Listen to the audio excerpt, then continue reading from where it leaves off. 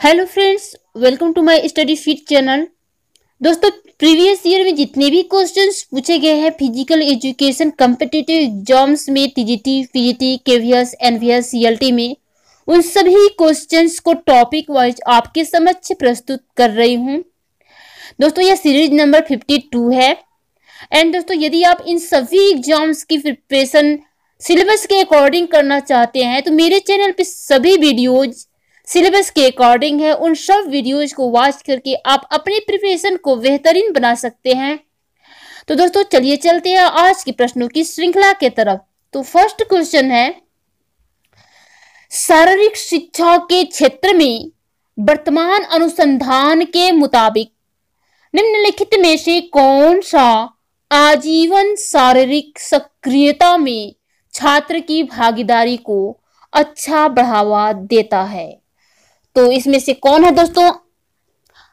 तो इसमें option number C correct हो जाएगा। विभिन्न प्रकार के गतिविधियों में भाग लेने के लिए आवश्यक मूल कौशलों को हासिल करना आजीवन शारीरिक सक्रियता में छात्र की भागीदारी को अच्छा बढ़ावा देता है। नेक्स्ट क्वेश्चन है कि एक सामान्य नियम के मुताबिक बच्चों को इससे ज़्यादा प्रशिक्षण नहीं देना चाहिए।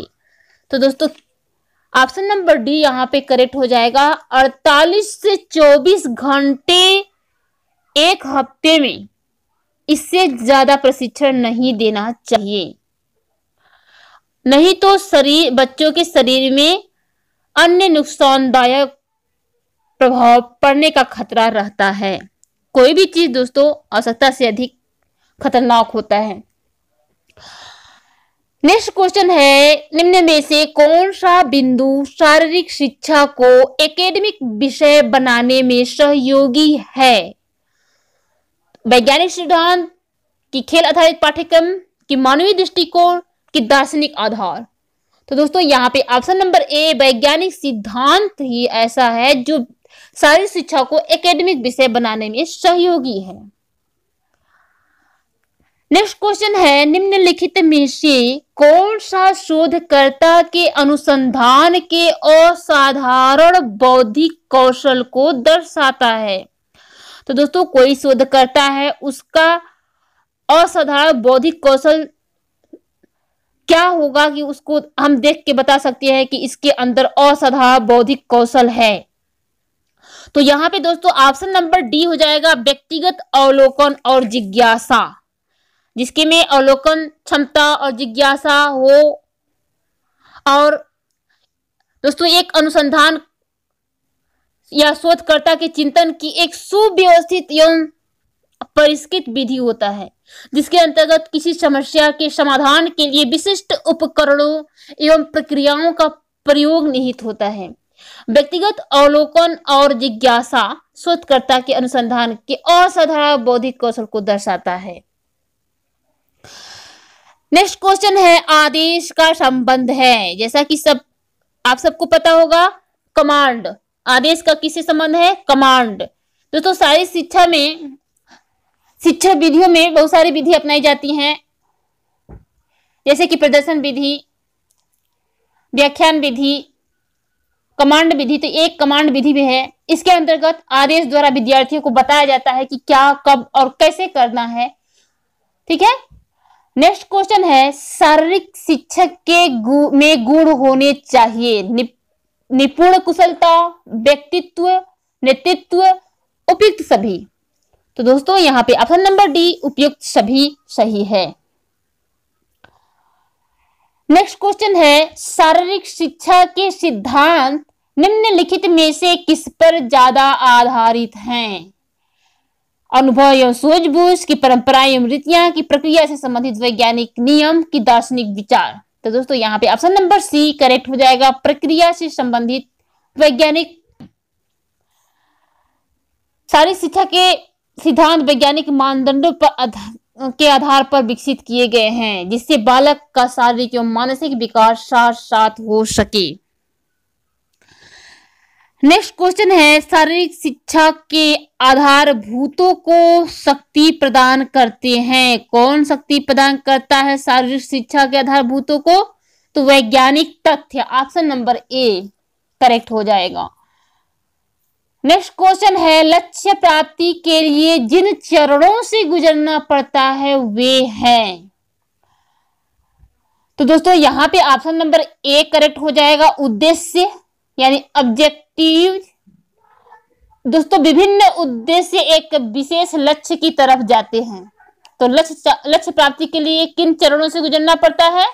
उद्देश्यों से। बिना उद्देश्य के लक्ष्य को प्राप्त करना आसान नहीं है। सामान्य तौर पर उद्देश्य लक्ष्यों की तुलना में अधिक विशिष्ट और आसान होते हैं। उद्देश्य बुनियादी उपकरण है, जो सभी नियोजन और रणनीतिक गतिविधियों को रेखांकित करते हैं। दोस्तों, जैसे कि आप किसी, मान लीजिए आप टीजीटी की या एलटी की तैयारी कर रहे हैं। उस क्यों कर रहे हैं? उस एग्ज़ाम्स को आपको क्वालिफाई करना है। एक गवर्नमेंट जॉब लेना है। इससे पहले जो भी आप पढ़ाई कर रहे हैं स्ट्रेटजी बना रहे हैं छोटे छोटे लक्ष्यों को पूरा कर रहे हैं, आज इस पार्ट को पूरा करना है, कल इस पार्ट को, ये सब उद्देश्य है। तो ये सभी उद्देश्य एक विशेष लक्ष्य की तरह इंगित कर रहे हैं आपके एग्ज़ाम्स को क्वालिफाई करने की तरफ़। ठीक है? नेक्स्ट क्वेश्चन है, शारीरिक शिक्षा का लक्ष्य क्या है? तो मनुष्य का मानसिक, सामाजिक, शारीरिक या सर्वांगी विकास। तो दोस्तों, सर्वांगी विकास में सभी कुछ आ जाता है। यहाँ पे ऑप्शन नंबर सी मनुष्य का सर्वांगी विकास। शारीरिक शिक्षा का मुख्य लक्ष्य है। नेक्स्ट क्वेश्चन है, भारत में अध्यापक शिक्षा के संबंध में शारीरिक शिक्षा का लक्ष्य क्या था दोस्तों? इसके आरंभ से ही लगभग निर्धारित रहा है। ऑप्शन नंबर ए यहाँ पे करेक्ट हो जाएगा। नेक्स्ट क्वेश्चन है, स्वास्थ्य शिक्षा में हमारे प्रयास इस दिशा में होना चाहिए ताकि लोगों को निम्नलिखित में सहायता मिल सके। तो किस दिशा में होना चाहिए? निर्णय करना तथा विकल्प का चयन करना। ऑप्शन नंबर ए करेक्ट हो जाएगा। नेक्स्ट क्वेश्चन है दोस्तों कि शारीरिक शिक्षा का एक प्रमुख लक्ष्य शारीरिक सक्षमता है। शारीरिक सक्षमता का चरण दर चरण उपागम है। आपको चरण दर चरण उपागम बताना है। यहाँ पे यानी क्रम वाइज सेटअप करना है। तो दोस्तों, यहाँ पे पहला है ए है शारीरिक कार्यकलाप और व्यायाम करना, बी है सक्षमता और शारीरिक कार्यकलाप का स्व आकलन और स्व नियोजन करना, सी है शारीरिक कार्यकलाप का अभिगम, और डी है शारीरिक कार्यकलाप में जीवन पर्यंत संलग्नता। तो दोस्तों, किसी में आप डेली बेसिस पे करेंगे तो ही आप उस चीज़ में जीवन प्रयत्न संलग्नता हो पाएगा आपका। तो जीवन प्रयत्न संलग्नता कार्यकलाप ये तो आपका सबसे लास्ट में होगा क्रम में, ठीक है? ये आप मतलब दिमाग लगा के आप इसको छाड़ सकते हैं, सबसे लास्ट में होगा। सबसे पहले क्या होगा, आपको ये देखना है। तो सबसे पहले होगा आपका बी सक्षमता और शारीरिक कार्यकलाप का स्व आकलन और स्व नियोजन करना। सबसे पहले उसको आप देखेंगे, स्व आकलन करेंगे, उसका नियोजन करेंगे, ठीक है? उसके बाद आएगा आपका सी शारीरिक कार्यकलाप का अभिगम, उसको आप देखेंगे क्या क्या करना है, ठीक है? और फिर आप शारीरिक कार्यकलाप और व्यायाम करेंगे, ठीक है? अब ध्यान अवलोकन कर लिए, देख भी लिए, अब उसका कार्यकलाप का व्यायाम और व्यायाम करेंगे। उसके बाद आप उसको, उस कार्यकलाप में जीवन प्रयत्न संलग्नता रहेंगे कि हम इसको अब जीवन प्रयत्न करना है। यहाँ पे ऑप्शन नंबर एक करेक्ट हो जाएगा। नेक्स्ट क्वेश्चन है, पता लगाए कौन सा सीखने का नियम नहीं है। तैयारी का नियम, प्रभाव का नियम, प्रतिक्रिया का नियम, गतिविधि एक्सरसाइज का नियम। तो दोस्तों, आप सही आंसर टिक कर दिए होंगे। यहाँ पे प्रतिक्रिया का नियम, सीखने का नियम नहीं है, जबकि तैयारी का नियम, प्रभाव का नियम, गतिविधि यानी एक्सरसाइज यानी अभ्यास का नियम, ये तीनों थानडाइक ने सीखने के तीन सिद्धांत दिए हैं। नेक्स्ट क्वेश्चन है, शारीरिक कौशल का सीखना संबंध रखता है। कॉग्नेटिव सीखने से, प्रभाव के सीखने से, मोटर के नियम सीखने से, इनमें से सभी नियम। तो दोस्तों, शारीरिक कौशल को सीखने के संबंध तो कॉग्नेटिव सीखने यानी और प्रभाव सीखने और मोटर के नियम सीखने तीनों संबंधित हैं। यहाँ पे ऑप्शन नंबर डी, करेक्ट हो जाएगा। इनमें से सभी नियम, ठीक है? नेक्स्ट क्वेश्चन है, अंश अभ्यास का एक प्रकार।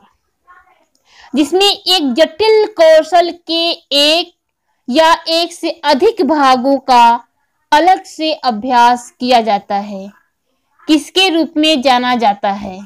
तो दोस्तों, यह जाना जाता है प्रेक्सनाइजेशन, ठीक है? प्रेक्सनाइजेशन। नेक्स्ट क्वेश्चन है, विशेष शिक्षण विधि का उपयोग किस पर निर्भर करता है? तो दोस्तों, यहाँ पे ऑप्शन नंबर बी करेक्ट हो जाएगा, अध्यापक की कुशलता पर।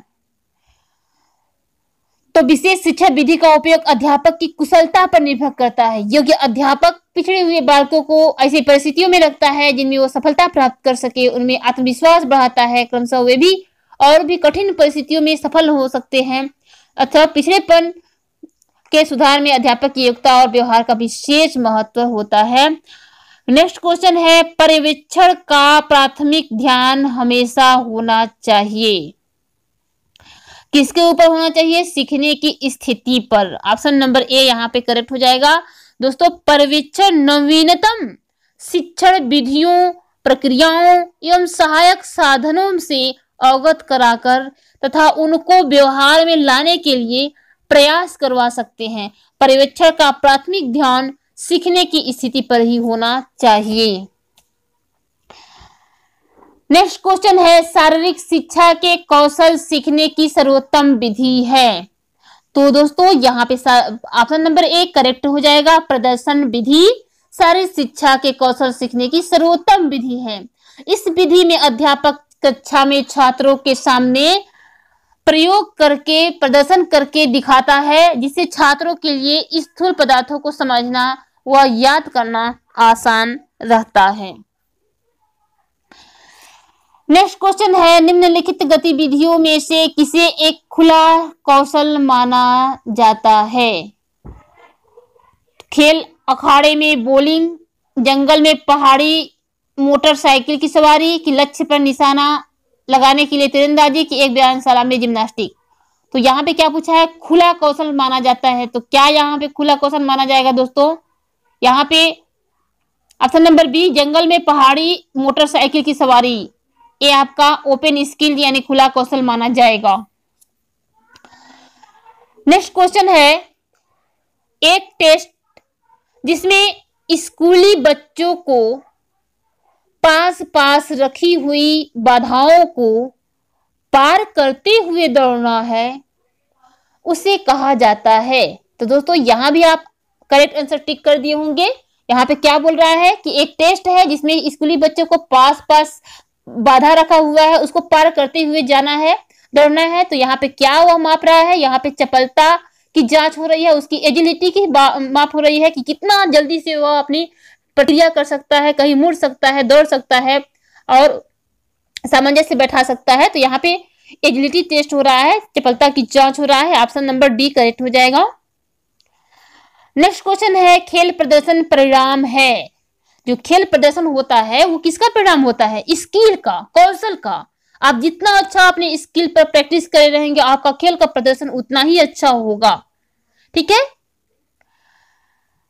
नेक्स्ट क्वेश्चन है, पाठशाला में शारीरिक शिक्षा के कार्यक्रमों को ख्याति प्रदान करने वाला मुख्य उपागम है। तो यहाँ पे ऑप्शन नंबर डी हो जाएगा, अंत पाठशाला क्रीड़ा स्पर्धाएँ। अंत पाठशाला क्रीड़ा स्पर्धाएँ पाठशाला में शारीरिक शिक्षा के कार्यक्रमों को ख्याति प्रदान करने वाला मुख्य उपागम है। शारीरिक शिक्षा शिक्षा का एक महत्वपूर्ण अंग है, जिसमें छात्रों के शारीरिक, मानसिक विकास करने की मनोरंजनात्मक रुचियों, कौशलों को बढ़ावा दिया जाता है। अतः पाठशाला अंत अंत पाठशाला क्रीड़ा स्पर्धाएँ इसके प्रमुख उपागम हैं। नेक्स्ट क्वेश्चन है, शारीरिक शिक्षा में समय सारणी को प्रभावित करने वाले कारक हैं। विद्यार्थियों की संख्या, उपकरण की उपलब्धता, वातावरण। तो दोस्तों, यहाँ पे तीनों चीज़ समय सारणी को प्रभावित करता है। शारीरिक शिक्षा में ऑप्शन नंबर डी उपयुक्त सभी करेक्ट हो जाएगा। नेक्स्ट क्वेश्चन है निम्न में से कौन सा खेल प्रशिक्षण का सिद्धांत नहीं है? भार की बढ़ोतरी क्रिया की मितव्ययता, प्रशिक्षण की बारंबारता, निरंतरता। जैसा कि दोस्तों, यहाँ पे करेक्ट आंसर आप टिक कर दिए होंगे। यहाँ पे ऑप्शन नंबर बी करेक्ट हो जाएगा। क्रिया की मितव्ययता यहाँ खेल प्रशिक्षण का सिद्धांत नहीं है, क्योंकि भार की बढ़ोतरी प्रशिक्षण की बारंबारता, निरंतरता तीनों खेल प्रशिक्षण का सिद्धांत है। तो दोस्तों, आज के लिए बस इतना ही। आई होप कि सभी क्वेश्चंस आपको समझ में आए होंगे दोस्तों। ये वीडियो कैसा लगा मुझे कमेंट में ज़रूर बताइए और ज़्यादा से ज़्यादा शेयर किया कीजिए दोस्तों। एंड दोस्तों, जितने भी क्वेश्चंस जितने भी टॉपिक अभी बचे हुए हैं आपके सिलेबस में, उन सभी टॉपिक्स को मैं पूरा करूँगी। तो दोस्तों, पहली बार विज़िट कर रहे हैं तो चैनल को सब्सक्राइब कर लीजिए बेल आइकन को प्रेस कर लीजिए, जिससे जो भी मैं नया वीडियो अपलोड करूँगी, उसका नोटिफिकेशन आपके पास मिलता रहेगा। तो मिलते हैं नेक्स्ट वीडियो में नेक्स्ट टॉपिक के साथ। तब तक के लिए जय हिंद।